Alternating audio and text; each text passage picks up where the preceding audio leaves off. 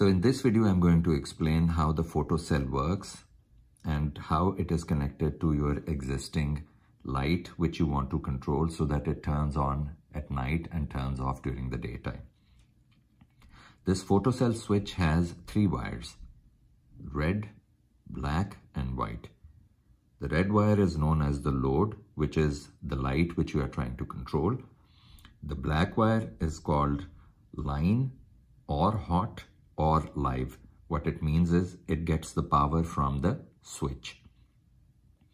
And this white wire is called the common or neutral. This is required to run any circuit. To run any device, you need two wires at least. One uh, taking power to that device and one which is the common taking um, uh, the current back so that circuit is completed. So the way it works is um, your light which you want to control what we are essentially doing is we are cutting off the power to the light through this switch. So what happens is when it is daytime, this switch does not let any power to your light, but at night it lets power go to the light and then it turns on. So the way it works is the common, this one, it is going to have two more wires connect to it. Why? Because it also needs the circuit to be completed to run. And also similarly, the wire, white wire coming from your light needs to connect to this. So this wire will have two more connections, one coming back from your light and one connecting it to the house, the white connection. This one, the light, uh, the line, hot or live wire.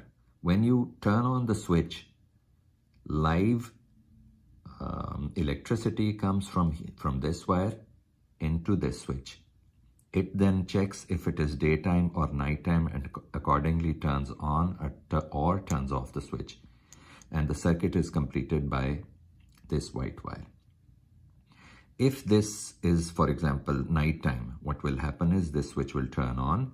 It will send the power from this red wire to your light and the white wire from your light will be connected here. The circuit will complete and your light will turn on.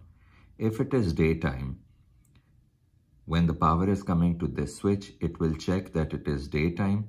It will not turn on and no power will go to your light. So this is how this entire circuit works.